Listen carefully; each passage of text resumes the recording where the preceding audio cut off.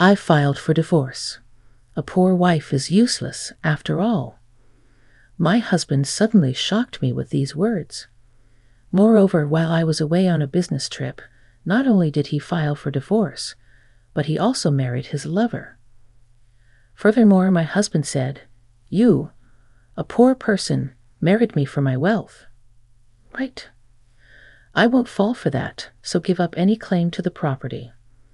As if I married him for his money.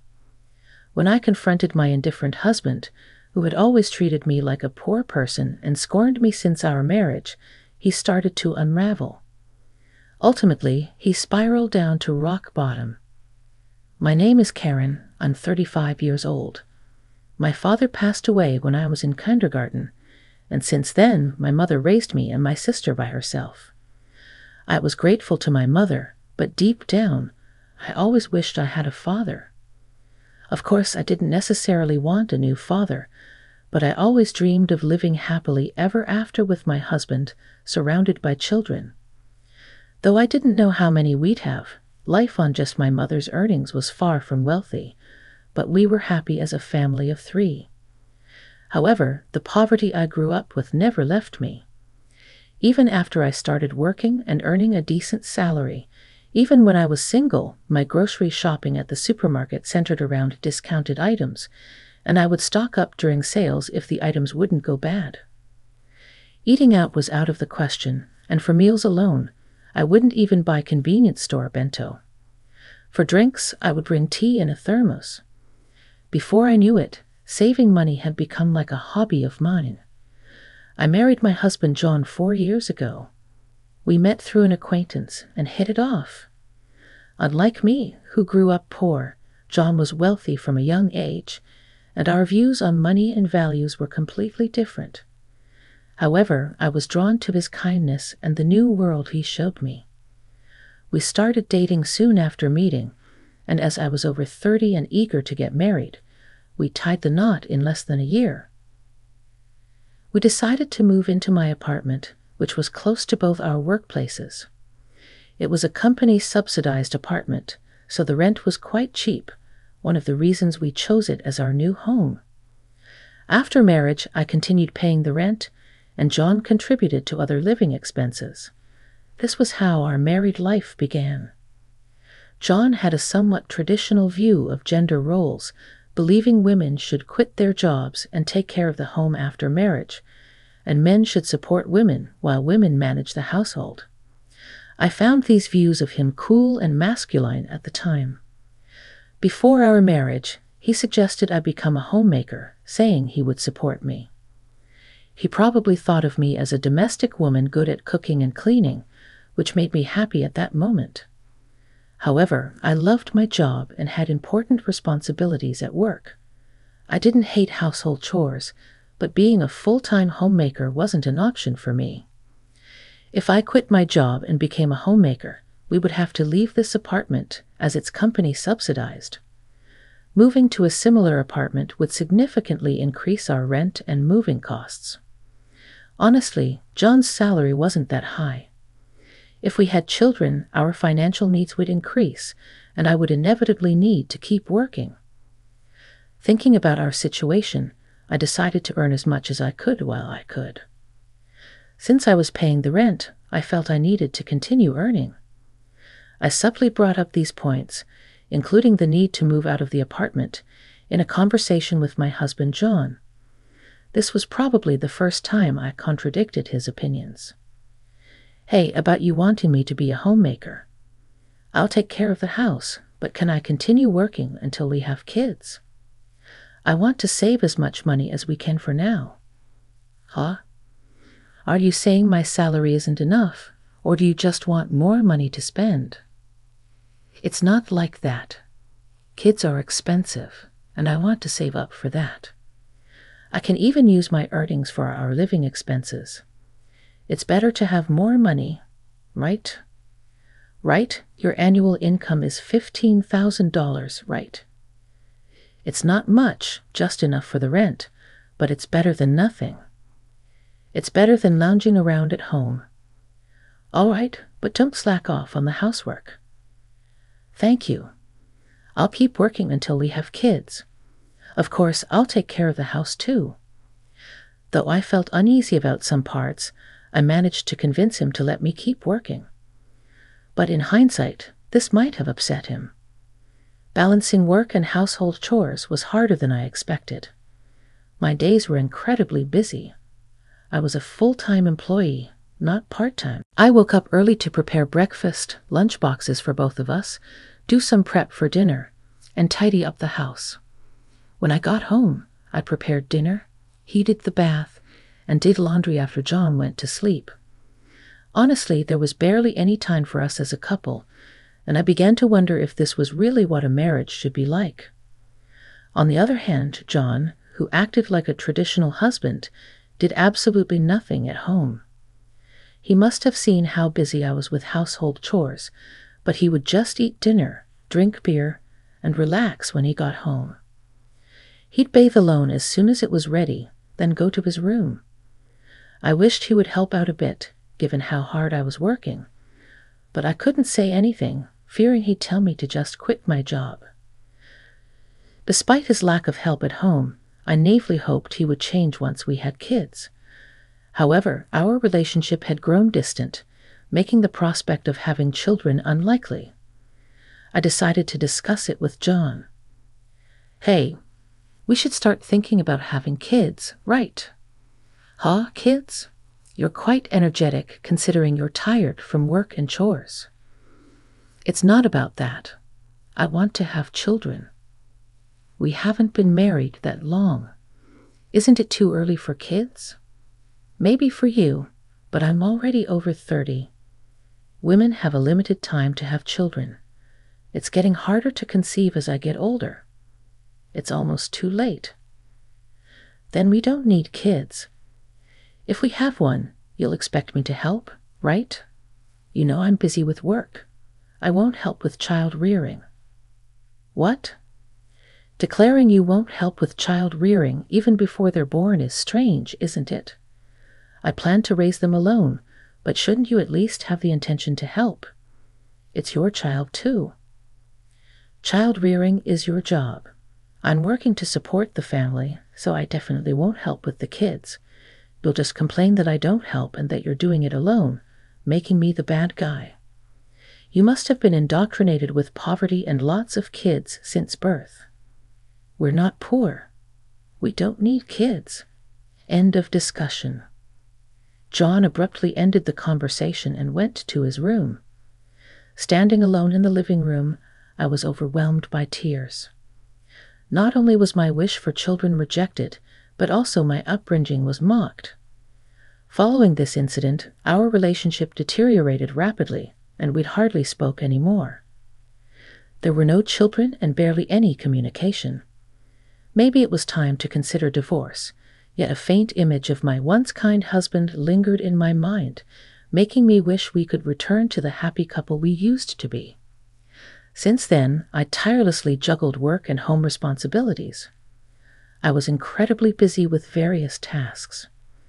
Eventually, I took on a significant project at work which meant more business trips and further distance from John. One day, as usual, I told him about an upcoming business trip, but his reaction was unlike any other time. I'll be away on a business trip for about 10 days from tomorrow. Please take care. Another trip? You're always working hard. Take care, even though you must be tired. He was unexpectedly kind, unlike his usual mocking self. He even said with a smile, Wait for a big surprise when you get back. I had given up on him and was resolved to a decision internally. However, his smile shook my resolve. Our wedding anniversary was approaching, and I thought maybe he had a surprise for that. Despite everything, I hoped he might have changed his heart. I even considered rethinking my stance if he had truly changed. However, my faint hope was shattered by a major incident. When I returned home ten days later, I faced the first surprise. The front door wouldn't open. The key didn't fit. As I struggled, John spoke from inside. Karen, right? Surprised? this is the first surprise. Changed the locks, so your key won't work anymore. What do you mean? Why doesn't my key work? Open the door. Why would I let a stranger into my house? I changed the locks. And for your information, we're divorced. That's the second surprise. A poor wife is useless.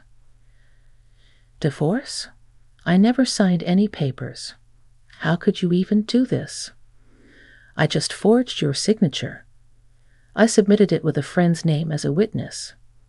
So you're a stranger now. Got it? Now? Understood. Then we need to discuss property division, right? Right, property division. I have a document for you to sign. I'll let you in this one last time. John finally opened the door. Inside, there was a document for me to sign, waiving my rights to property division. I thought you'd say, Give me property division if you want a divorce. Poor people like you probably saw me as rich. You married me for my wealth, right? I won't fall for that. So waive your rights to the property. What? I never even thought about property division. I hadn't even considered divorce. So you'll also waive your rights to property division, right? How much property do you think a poor person like you has? A few thousand in savings at most. I don't need that. I have more assets, so if anyone is doing the dividing, it would be me giving money to you, not the other way around. Don't you get it? Is that so? Well, that doesn't matter. Let's change the document to reflect mutual renunciation of property rights and make it a public document, I retorted stubbornly. Afterward, John redid the document on his computer, deciding to make it a public document. However, it would be some time before we could submit it. I decided to pack my things and leave the house for the moment. As I was leaving, he scorned me until the end. You are poor. I thought about throwing away your belongings while you were on your trip, but you barely had anything. Always wearing the same clothes, typical of the poor. The reason my belongings were few at that time was deliberate, part of my plan. The only unexpected thing was John changing the locks without my knowledge. A few days later, as expected, a panicked John called. Karen, what have you done? What do you mean? I haven't done anything. Why are you panicking? I have a lot of questions. First, I was told to leave the apartment. Oh, you were still living there. That's not allowed. It's a new month. You're trespassing. Trespassing? But it's my house. Are you okay? Did you forget that was a company apartment I rented? I was the leaseholder, so naturally, you can't live there anymore. That's ridiculous. How could you do this? I can't believe you didn't know. I'm not the one who should be accused of doing things on my own. Didn't I tell you that you can't just change the locks of a rental apartment? It's my house. I can change the locks if I want. Didn't you listen? It was my leased apartment. Even if you were the leaseholder, the owner is the apartment manager. You can't change the locks without informing them. Is that so? Also, I terminated the lease while you changed the locks. I was allowed to live there until this month. I was planning to return, but now you've unlawfully altered someone else's property, which could be criminal damage. Wait, why did you terminate it so early? Criminal damage? Is that why the police are at the front door now? I'm too scared to open it. But I calmly replied, So the police did come. Don't worry. It's probably not for trespassing or criminal damage. It's better to talk to them. Why do I? I know about the police because I reported you for filing the divorce papers yourself. It seems like you've committed crimes like forgery and fraudulent use of a private document. Divorce papers can be filed by one person, but only with mutual agreement and personal signatures. Since John forged my signature and the witness, It's obvious that it's a crime, but he seemed unaware of his guilt. I continued pressing further. So the divorce papers you submitted are invalid, and your marriage with Susan can't happen either. How do you know about Susan? Did you think I knew nothing? I had a private detective agency thoroughly investigate your affair with Susan. It was a busy time at work, and coordinating with the agency was tough. Plus, you even held a grand wedding ceremony while I was supposedly on a business trip. Are you okay? Your business trip was a lie. Yes, I took leave from work despite being busy doing some research and preparing documents. I knew about you bringing Susan home. It would have been impossible to gather this evidence while working. After I revealed everything, John was speechless and seemed quite downcast even over the phone. Then he pleaded with me, Please don't tell Susan I'm divorced. Why would I? There's no such fact to tell. Really? Thank you. Are you misunderstanding something? When did you become divorced? That fake divorce paper is invalid, remember? So legally, you're still my husband, not divorced. What? So since you committed adultery while legally my husband, Susan needs to pay compensation. I sent the demand for reparation to her house yesterday by express delivery. She didn't know you were married, right? Then I can't withdraw the claim at this point. I already knew Susan believed John was single, but I deliberately sent the reparation demand. Susan hasn't contacted me yet, so maybe she hasn't received the letter. It should arrive soon. Should you be on the phone with me when you also have to deal with the police? You're busy. I'll ignore the police. I won't be arrested. I'm going to Susan's house now to get the letter back before she or her family can accept it. He then hung up. He probably went straight to Susan's house to wait for the postman at the front door. I knew it would be futile because the letter was sent as registered mail to Susan only. Even if he waited for the postman, he couldn't receive it. A few hours later, a dispirited John called me. According to him, there was an incident when the postman arrived. Finally, I'll take that envelope. Who are you? You don't live here, right? I'm practically a resident here. Since I'm married, I have the right to receive the mail. I see, but I can't give you this envelope. It's registered mail for Susan only. What? Give it to me? Absolutely not. If you're so eager, ask Susan for permission. What's going on here? Oh, John, what's all this noise? What's happening? Susan, this is registered mail for you. This man insisted on taking it. Sorry for the disturbance. Now I'll be on my way. What's this? A demand for reparation. John, you were married? What's going on here? Sorry, it's just she's an ex wife from a long time ago. I was embarrassed to say I'm divorced. I'm sorry for keeping it secret. But it's strange, isn't it? We haven't been dating long, and a demand for reparation. If you were divorced before we started dating, there shouldn't be any problem, right? Well, my ex wife is crazy. Maybe she's demanding reparation out of spite because I got married. That was the excuse he gave, but such a lie was quickly exposed. The envelope included a letter I wrote along with my contact information, so Susan called me directly. In that call, I told her about the affair, the invalid divorce, and that they had a wedding ceremony while he was still married to me. Although they had a wedding ceremony, they hadn't submitted the marriage registration yet. John wanted to submit it on a good luck day, so it was still pending. He probably delayed submitting the marriage registration due to uncertainty about whether the divorce was finalized. After being exposed, John fled from Susan's house and shamelessly contacted me again. I still had something to tell him, so we agreed to meet at a nearby cafe. As soon as I arrived, John said, Karen, please withdraw the reparation claim. Let's pretend we've been separated for a long time and officially divorced now.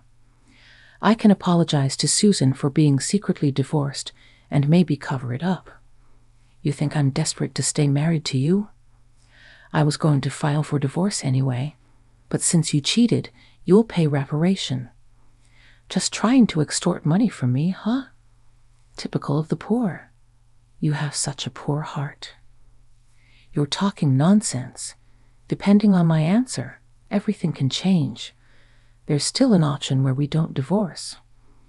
If I say no, you can't reject it, meaning you can't marry Susan, and your marital status will be exposed. Fine, I'll pay the reparation. Just divorce me now. Sign here, then, about property division. Property division? How much more do you want to take from me? Reparation should be enough. Remember, we agreed to waive property division, right? So let's make it official.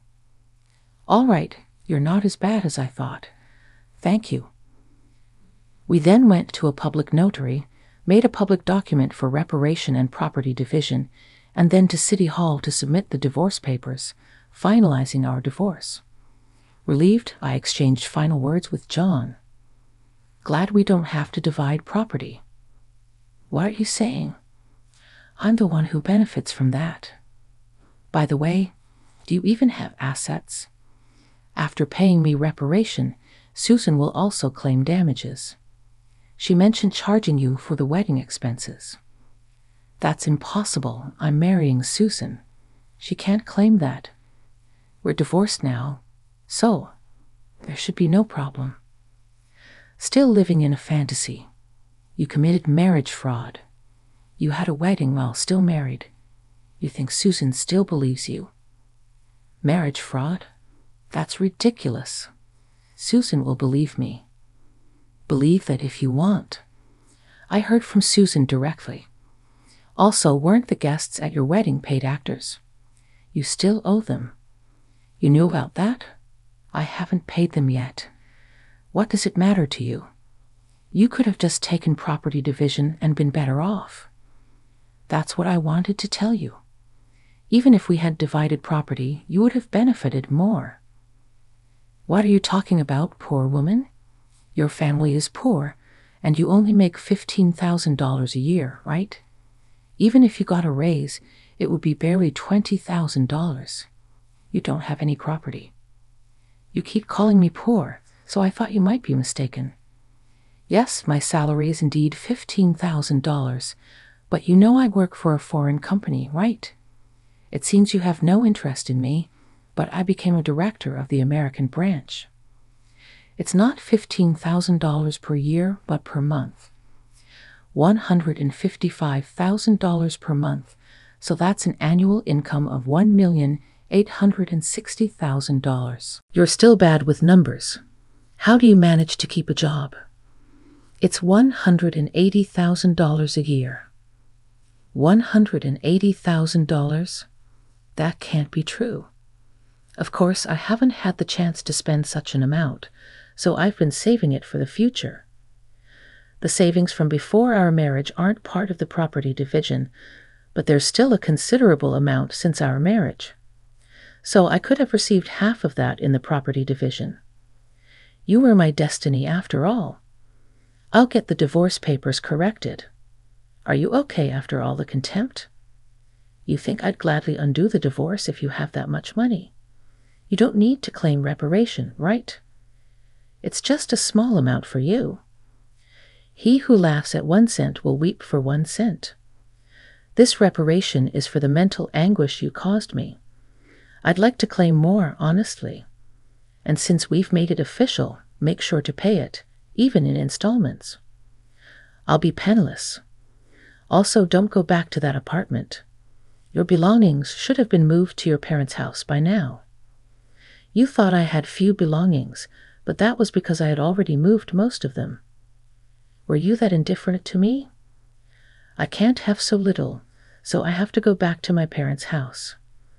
They don't know anything yet, do they? Let me explain. Don't say anything. I'd already told them everything. It's only right to explain why we're divorcing. Oh, and your father said don't ever step over our threshold again. So I have nowhere to go. He collapsed, and I left the cafe. Later, I heard he caused trouble at the police station. Despite my advice, he went back to the apartment. He sat there aimlessly in the empty apartment until the manager called the police, and he was taken away. I'm not sure if it was for obstructing public duties, trespassing, or for falsifying divorce papers. Eventually, his parents took responsibility for him. After talking with me and learning about Susan, they decided that apologizing and paying damages to Susan's family came first. They went to Susan's house to apologize, kneeling in front of her family. They settled everything without pressing charges for marriage fraud, even paying for the wedding expenses.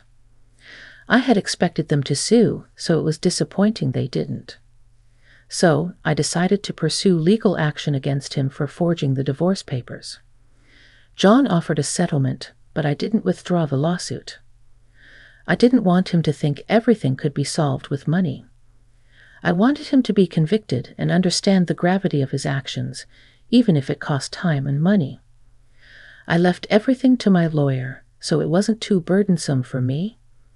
Even though it took time, John was exposed for his actions and the marriage fraud at his company. He couldn't stay there anymore. After being detained by the police and subsequently absent without leave, he was eventually fired. He ended up living at his parents' home working all day at a relative's construction company. His father took all his earnings, leaving him with no income. I thought his parents wouldn't abandon him, but they were stricter than I expected. They paid my reparation and Susan's compensation, planning to make him work like a horse until he repaid everything. He lived in a shed like place with no electricity, receiving only $5 per day for food, deducted from his salary. They planned to disown and kick him out once he's repaid everything. A harsh fate. After years of hard work, I was offered a position at the head office abroad, so I moved overseas after the divorce was finalized. I worried John might come to me for help or harbor resentment, but moving abroad alleviated those concerns. I thought work would be my partner for a while, but soon I found a new relationship. I'm now dating a foreign executive at our head office, and I'm pregnant with plans to marry soon. I told him everything about my past and my ex husband, and he's understanding. I'll take maternity leave and plan to return to work later, supported by him. He's enthusiastic about taking paternity leave and co parenting, showing a different cultural perspective. After being tormented by my ex husband, I finally feel I'm grasping true happiness and confidence in building the happy family I always dreamed of. Many suffer due to selfish spouses. While divorce isn't always the right choice, enduring in silence isn't a virtue. It's important to know that honest discussions can lead to resolutions, and sometimes divorce is a necessary option.